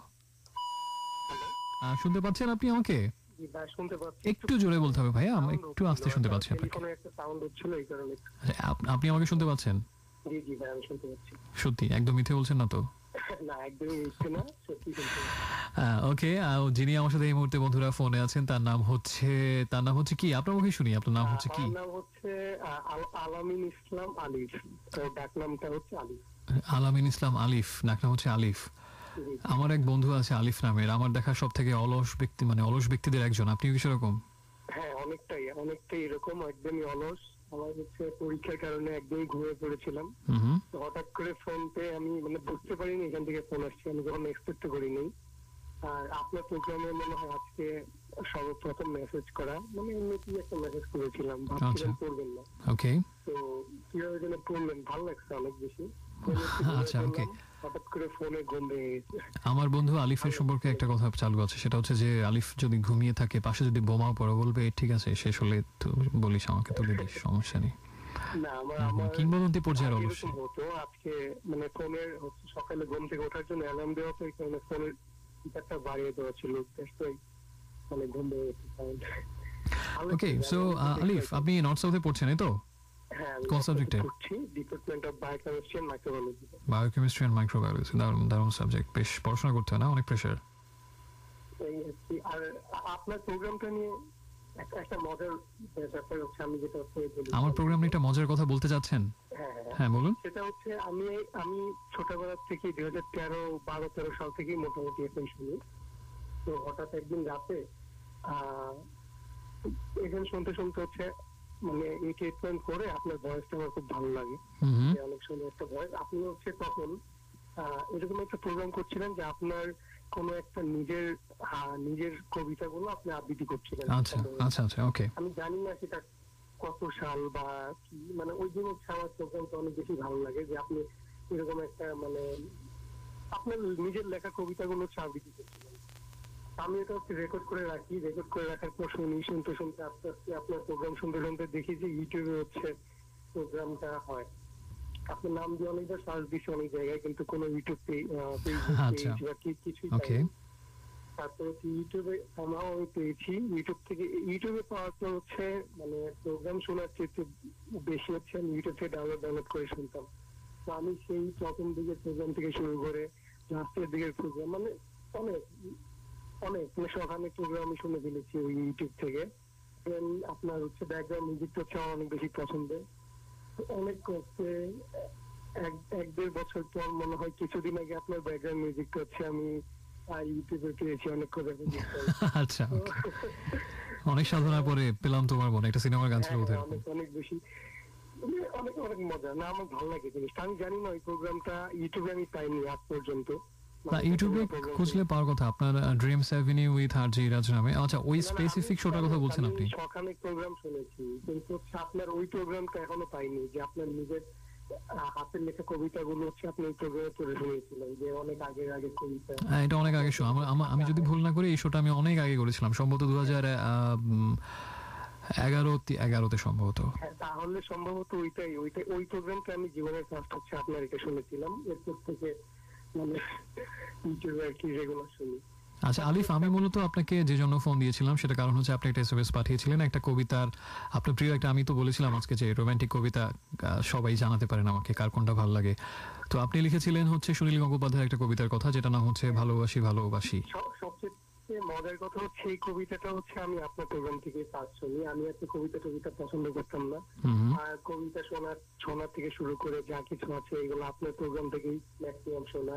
মুভি দেখা একটা কোকো মুভির কথা আপনি বলেছিলেন। আমি কোকো মুভিটা দেখেছি। অসাধারণ একটা মুভি তো কি বলব আপনি হচ্ছে লাইফ চেঞ্জার একজন মানুষ আমার আমি এটা বিশাল কমপ্লিমেন্ট আমি এই আমার শোল্ডার এত বড় কমপ্লিমেন্টের পাহাড় নিতে পারবে না হ্যাঁ? তো আমি আসলে যেটা বলতে চাচ্ছি সেটাই বলি আলিফ। যেটা হচ্ছে এই কবিতার একটুখানি শুনব নাকি? আমি তো অনেকগুলো পড়লাম আলিফের মুখে একটু শুনব নাকি? আমি- আপনার মুখে আবৃত্তি করা কবিতা অনেক বেশি পছন্দ করি আমি শুনি অনেক বেশি।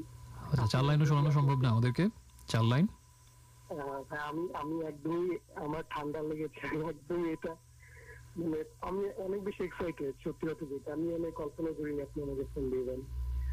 ওকে অনেক বেশি এক্সাইটেড আমি যদি আপনার মুখে কবিতাটা শুনি আমি অনেক বেশি ঠিক আছে আচ্ছা আমি চেষ্টা করব আলিফ আর অনেক ধন্যবাদ আমার ফোনটা রিসিভ করার জন্য এবং আমার সাথে কথা বলার জন্য ড্রিমস অ্যাভিনিউর সাথে আমি কৃতজ্ঞ বেশি হ্যাঁ ভালো থাকবেন। ওকে ভালো থাকবেন আলিফ। আর খুব বড় একজন বায়োকেমিস্ট হন এটাই সুপ্রত্যাশা থাকবে। শোনার সময় এরকম মানে মাঝে মধ্যে এরকম একটা প্রোগ্রাম শুনেছিলাম আপনি হচ্ছে প্রোগ্রামটা ক্লোজ করে অনেক দিনের জন্য চলে যাবেন। এরকম একটা মানে এটা ছিল দুই হাজার বারোতে? হ্যাঁ হ্যাঁ হ্যাঁ ইউটিউবে আমি তখন হচ্ছে ইউটিউবে শুনছিলাম আচ্ছা। আমি। হ্যাঁ তখন একটা পরিস্থিতি হয়েছিল যে আমার বোধহয় শো করা হবে এরকম একটা সিচুয়েশন হয়েছিল তো আমি তখন হচ্ছে পারানগেটে মেডিকেলের কোচিং করতাম। আচ্ছা। মেডিকেলের কোচিং আমার বাসা কিন্তু সাভারে। আপনি জাহাঙ্গীরনগরের গল্প করেন তো জাহাঙ্গীরনগরের গল্প বলতে আমি মানে আমি রিয়েলাইজ করতে পারি সবগুলো। আচ্ছা। একটা একটা ভাইয়া জাহাঙ্গীরনগর থেকে আপনাকে অনেক কিছু বলে জাহাঙ্গীরনগরে থাকে ভাইয়াটা। আচ্ছা। আমি শুনি মানে জিনিস রিলেট করতে পারি। তো আমি মেডিকেল মানে ফার্মগেট থেকে কোচিং করতে করতে সাভারের দিকে যাওয়ার সময় আপনার ওই প্রোগ্রামটা শুনছিলাম মানে ইউটিউবে ডাউনলোড করা ডাউনলোড করে শুনছিলাম বাসে বাসে আসার সময়। তো মানে আপনার কথাগুলা ওই মোমেন্টগুলো আপনি যখন বলছিলেন যে প্রত্যেকটা রেডিওর মাইক তারপর হচ্ছে লাইট সবগুলো আমাকে টানে কথাগুলো। মানে আমি আমি মানে বাসের মধ্যে কান্না করে দিচ্ছিলাম এরকম একটা ফিলিং সারাই সর্বনাশ। অসাধারণ অসাধারণ একটা ফিলিং আহ, যাই হোক ভালো লাগল খুব কথা বলে আলিফ। ভালো থাকবেন নিশ্চয়ই আবার একদিন কথা হবে হ্যাঁ? অবশ্যই আপনি Okay, অনেক বেশি thanks ভালো থাকবেন। হ্যাঁ? ধন্যবাদ আলিফ। শুনছিলাম আমাদের আলিফ নামের একজন বন্ধুর কথা। আমি তো শুরুতে বলেছিলাম আজকে শোয়ের যে শোয়ের মধ্যে যে কোনো সময় বন্ধু বান্ধবকে ফোন দিব আজকে। আরও দিতে পারি এখনও হয়তো শেষ না। বাইরে আমাকে এমন একজন এস এম এস করেছেন যার এস এম এস পেয়ে আমি সম্মানিত বোধ করছি। আর যে রাকিব আমাদের রেডিও আমার ফ্যামিলিরই একজন মেম্বার রাকিব প্রত্যেক ফ্রাইডেতে আমাকে নাকি গোপনে শুনেন আমি এটা জানতাম না সিরিয়াসলি রাকিব। এবং এটা শুনে আরও বেশি সম্মানিত আমি। আজকে টেক্সট করলেন। Love you too Rakib thank you so much for honouring me like this আর আরেকটা কথা যেটা বলব, সেটা হচ্ছে যে এটা এটা মানে আমার আমাকে কমপ্লিমেন্ট দিয়েছে বলে যে আমিও দিচ্ছি এই ফর্মালিটি না। আসলে মন থেকে একটা কমপ্লিমেন্ট দেবো। সেটা হচ্ছে আমি কয়েকদিন আগে, সম্ভবত পাঁচ ছয় দিন আগে বা এরকম একটা সময় বা চার পাঁচ দিন আগে এই- এইরকমই আর কি তোমার শো শুনছিলাম একটা ডুয়েট শো তো সেখানে সম্ভবত নাইমার সাথে না? হ্যাঁ তো সেখানে আমি তোমার ফার্স্ট শো শুনলাম ওই দিনই এবং তোমার ভয়েস অন এর আমি ওই দিন ফার্স্ট শুনলাম। আমি তো শুনে মনে হচ্ছে যে মানে আমি ওই সময় ড্রাইভ করছিলাম। আমার সাথে গাড়ি নিয়ে রাস্তার পাশে পড়ে যাওয়ার অবস্থা। অ্যামেজিং ভয়েস তোমার। আমি আসলেই মানে সেরকম ম্যানলি সেরকম দুর্দান্ত একটা ভয়েস এবং প্রচণ্ড একটা জেলাসি কাজ করছিল। এরকম ভয়েস যদি আমার থাকতো অনেক কিছু করে ফেলা যেত, এরকম একটা অতৃপ্তি কাজ করছিল আর কি। Seriously am jealous of your voice এবং আমার খুব ভালো লেগেছে তোমার কথা বলার স্টাইল এভরিথিং ওই প্রথমবার শোনা আমার। অনেক দূর যাবে, এই শুভকামনা থাকল Rakib and thank you so much once again for being with me আর আপাতত আর কিছু করছি না, গানে চলে যাচ্ছি এবং একটু পরে ফিরে এসে হয়তো আবার কারোর সাথে ফোনে কথা হতে পারে অথবা আরও কবিতা পড়া হতে পারে। আর সাথী থাকুন এবং এস এম এস করার নিয়মটা একটু মনে করিয়ে দিই। যদি কিছু লিখতে চান আমাকে, প্রথমে আপনার সেল ফোনের এস এম এস অপশনে গিয়ে লিখবেন রেডিও আমার শর্ট ভার্সন যেটা হচ্ছে আর এ এবং স্পেস দিয়ে নাম, ঠিকানা লিখবেন, তারপরে কথাগুলো লিখে পাঠিয়ে দেবেন সিক্স নাইন সিক্স নাইন এই নাম্বারটাতে। এখন একটা গান শুনব, এই গানটা মূলত সুমনের ছিল, পরবর্তীতে আবার নতুন করে কম্পোজ করা হয়েছে আনিলার সাথে, সেই গানটা শুনছি, স্বপ্নগুলো তোমার মতো। লিরিক্সটা আমার খুব ভালো লাগে। স্বপ্নগুলো তোমার মতো।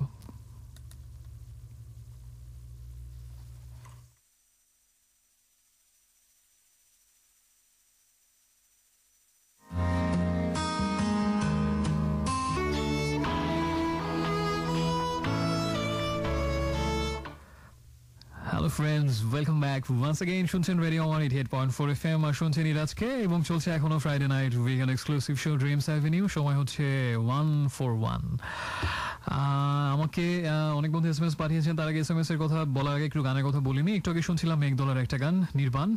অসাধারণ একটা গান। আমার বেশ ভালো লাগা কাজ করে গানটার প্রতি। এখনও এখানে নীরবে দাঁড়িয়ে অগণিত প্রতিশোধ জাগে আত্মার ভেতরে কিছু মাতাল হাওয়ার গান। অন্যরকম একটা লিরিক্স অন্যরকম গান এবং শিবুর ভয়েস নিয়ে তো আসলে বলার কিছু নেই। মানে একটা জানি মাঝে মানে আমি আমি কিছু কিছু ভয়েস শুনলে একটু জেলাসি কাজ করে।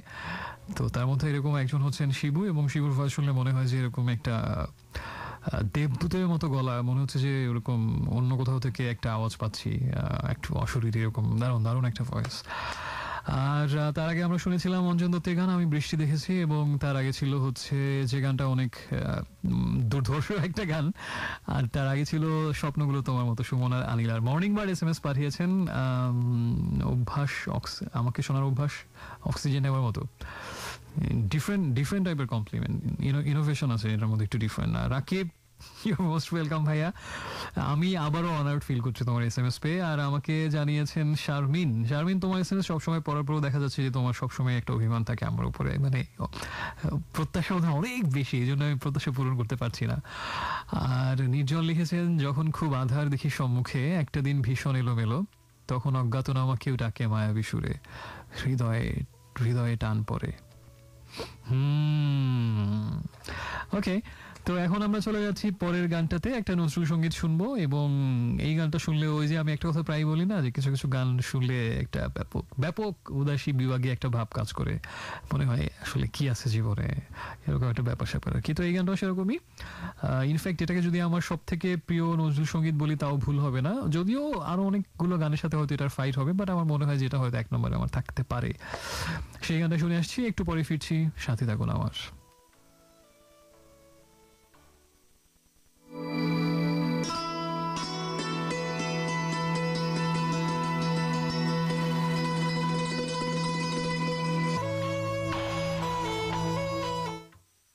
friends welcome back for the last time tonight শুনছেন আজকে এখনও এবং আজকে রাতে এটাই শেষবারের মতো লিঙ্ক আর ড্রিমস অ্যাভিনিউ এখনও চলছে, একটু পরে শেষ হয়ে যাবে, সময় একদম শেষ। যারা আজকে সাথে ছিলেন, অনেক ধন্যবাদ সাথে থাকার জন্য এবং আশা করি আজকে প্লেলিস্ট কবিতাগুলো অনেক ভালো লেগেছে এবং যদি ভালো লেগে থাকে। তবে এরকম আবার হবে নিশ্চয়ই, এরকম রোমান্টিক গানের রাত সাথে রোমান্টিক কবিতা। আর শুনছিলাম লুইপার কণ্ঠে একটা নজরুল সংগীত, আমার আপনার চেয়ে আপন যেজন খুঁজি তারে আমি বারে বারে। আসলে খুঁজতে খুঁজতেই জীবন চলে যায় এবং হয়তো পাওয়ার থেকেও খোঁজার মধ্যেই অনেক বেশি আরও একটা অন্যরকম মাহাত্ম বিদ্যমান। সে যাই হোক, এখন আমি আজকের মতো বিদায় নিচ্ছি। অনেক ভালো থাকবেন। ইনশাল্লাহ আগামী সপ্তাহে আবার কথা হবে। আর যাওয়ার আগে জীবনানন্দের একটা কবিতা দিয়ে শেষ করে তারপরে বিদায় নিচ্ছি। কবিতাটার নাম হচ্ছে, আমাকে তুমি। আমাকে তুমি দেখিয়েছিলে একদিন মস্ত বড় ময়দান দেবদারু পামের নিবিড় মাথা, মাইলের পর মাইল। দুপুরবেলা জনবিরল গভীর বাতাস, দূর শূন্যে চিলের পাটকিলে ডানার ভিতর অস্পষ্ট হয়ে হারিয়ে যায়। জোয়ারের মতো ফিরে আসে আবার। জানালায় জানালায় অনেকক্ষণ ধরে কথা বলে। পৃথিবীকে মায়াবী নদীর পাড়ের দেশ বলে মনে হয়। তারপর দূরে, অনেক দূরে। খররৌদ্রে পা ছড়িয়ে বর্ষীয়সী রূপসীর মতো ধান ভানে, গান গায়। গান গায় দুপুরের বাতাস। এক একটা দুপুরে এক একটা পরিপূর্ণ জীবন অতিবাহিত হয়ে যায় যেন। বিকেলে নরম মুহূর্ত, নদী জলের ভিতর সম্বর নীলগাই হরিণের ছায়া আর আসা যাওয়া। একটা ধবর শীতল হরিণীর ছায়া আতার ধূসর ক্ষীরে গড়া মূর্তির মতো নদীর জলে সমস্ত বিকেলবেলা ধরে স্থির। মাঝে মাঝে অনেক দূর থেকে শ্মশানের চন্দন কাঠের চিতার গন্ধ, আগুনের ঘিয়ের ঘ্রাণ, বিকেলে অসম্ভব বিষণ্ণতা। ঝাউ, হরিতকি, শাল, নিভন্ত সূর্যে পিয়াশাল পিয়াল, আমলকি, দেবদারু, বাতাসের বুকে স্পৃহা উৎসাহ, জীবনের ফেনা। সাদা সাদা ছিট কালো পায়রা ওড়াউড়ি জ্যোৎস্নায়, ছায়ায়, রাত্রি। নক্ষত্র ও নক্ষত্রের অতীত নিস্তব্ধতা।